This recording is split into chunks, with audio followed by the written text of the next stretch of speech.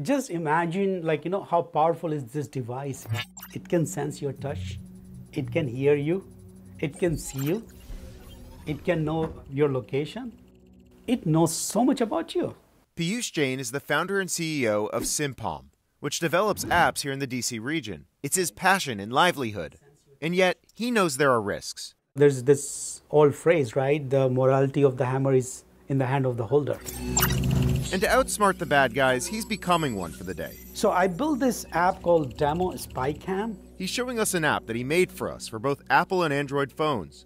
After downloading it, he was asked to grant access to his phone's microphone and camera.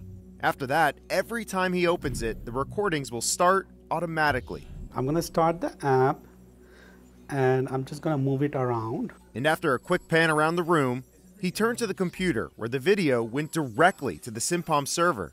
And I'm just gonna move it around. There you go. See? I see your tie. I see what you're wearing. Look at that.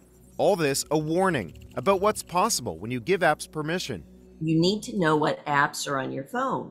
Rebecca Herold, who has spent 30 years as a data privacy expert, tells us we usually agree to sharing our private data when we download an app because people rarely read the terms of agreement, and this leaves our data vulnerable, from video and audio to our camera roll and contacts list, even our GPS location. A lot of folks don't realize that when they download an app, even if it's just a game app or a silly image app or whatever, oftentimes that's how these accesses to phones are accomplished. So, how do you know if an app is accessing your phone's data? If you have an iPhone, you'll want to pay attention to this. Every time your camera is accessed, a small green light will pop up in the top right corner. And every time your mic is used, you'll see a small orange light. And if you have an Android version 12 or up, you'll get notified as well.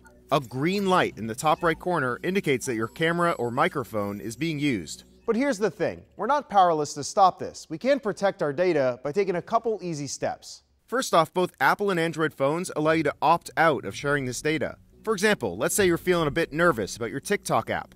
With a few clicks in your settings, you could take away the app's access to your contacts, microphone, and camera. Because that's iPhone closing the door. So even if TikTok really wanted my data, Okay. the door's closed. Door is closed, yeah.